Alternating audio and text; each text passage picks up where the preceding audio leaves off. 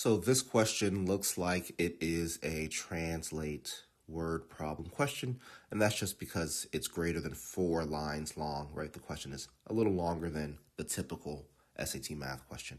So with that, my strategy is to not read all the way through, but instead to make sure I understand as I read. So I like to take a break in between sentences to make sure I understood what I read prior, and also to write down any quantitative information that I'm seeing. So the, the first sentence here says On April 18th, 1775, Paul Revere set off on his midnight ride from Charlestown to Lexington. Okay, makes complete sense. If he had ridden straight to Lexington without stopping, he would have traveled 11 miles in 26 minutes. So I'm going to just make a little chart here and say C to L, right, for Charlestown to Lexington. We're told, if you just go straight there, that this is 11 miles, so that's the distance, and that it took him 26, it would have taken him taken him 26 minutes, right? So with that information, we could definitely find the actual speed.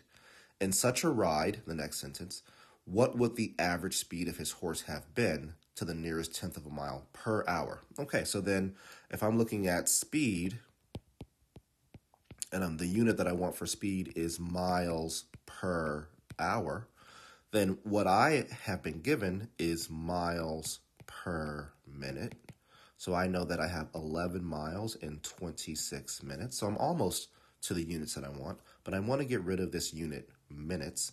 So I'm going to use unit conversion analysis here, which allows me to multiply by the relationship between minutes and hours. What is that relationship? Well, I know that 60 minutes is equal to one hour.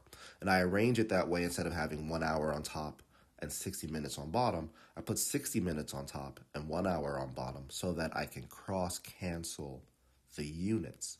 So now what I'm left with is just the units that I want, right? I have miles up top, which is exactly what I want, and I have hours on bottom, which is exactly what I want. So let's do the math now. So 11 times 60, I just go to my calculator and type that in. This is, is the calculator section. So 11 times 60 is 660. So I have six, I have 660 miles in 26, right? This 26 is still here. 26 hours. So now my units are perfect. I have miles per hour, but I can reduce this. So what is 660 divided by 26? And again, they want me to round this to the nearest tenth of a mile.